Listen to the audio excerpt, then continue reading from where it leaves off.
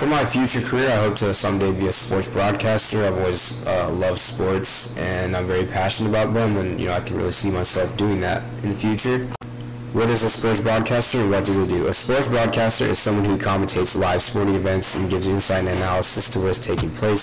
Some of the everyday duties of a sports broadcaster can be compared to that of the athletes they cover, as they spend a lot of time preparing and studying for the game that they're covering, making notes about what to talk about on the broadcast. Why is this career important? A sports broadcaster isn't the most vital career for our society, obviously, but it involves a very large and popular industry sports and entertainment are pretty beloved in our society, and the telecasts give it depth. I mean, just try to imagine watching a game without any play-by-play commentary. What math and science classes are required in high school? There are no math and science classes that are specifically required for this career in high school, uh, other than the four math classes you need to graduate and the three science classes you need to graduate. What math and science classes are required in college?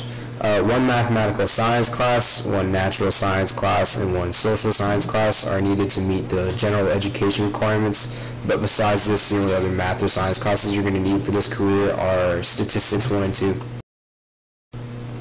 Some of the colleges I applied to that offer a degree in media communications, which degree you need to become a sports broadcaster, are Appalachian State University, NC State University, and the University of North Carolina Wilmington some scholarships for a media-based communications major are the Jim McKay Memorial Scholarship, the Mike Wallace Memorial Scholarship, and the AQHA Journalism and Communication Scholarship. Uh, some potential companies you can work for in this field, uh, and these are local companies right here in Charlotte, are ESPN Charlotte, Fox Sports Carolinas, and Time Warner Cable Sports.